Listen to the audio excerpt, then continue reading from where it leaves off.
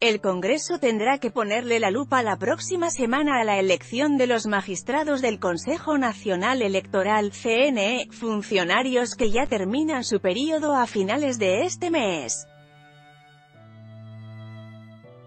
Este será el otro proceso grande de elección que tendrán que afrontar los congresistas que se posesionaron el pasado 20 de julio.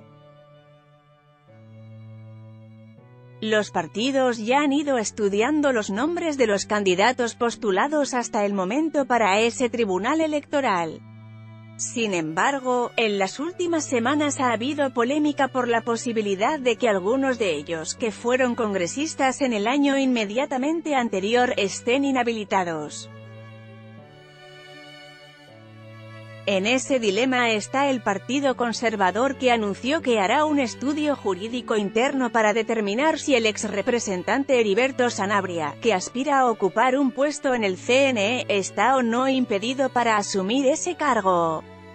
Ad Choice Advertising in Read Invented by el senador Carlos Andrés Trujillo, encargado de hacer el proceso de revisión de las hojas de vida, dijo que quedaron seis candidatos para ser postulados al Consejo Nacional Electoral y estamos revisando el cumplimiento de las hojas de vida para avanzar al interior de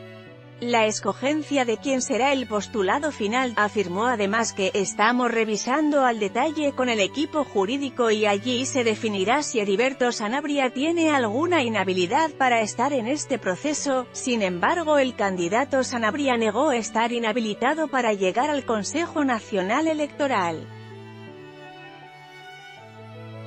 No estoy inhabilitado porque lo que dicen es con base en una disposición del Código Electoral de 1986 y eso fue relevado por la Constitución Política de 1991 así que no hay inhabilidad alguna.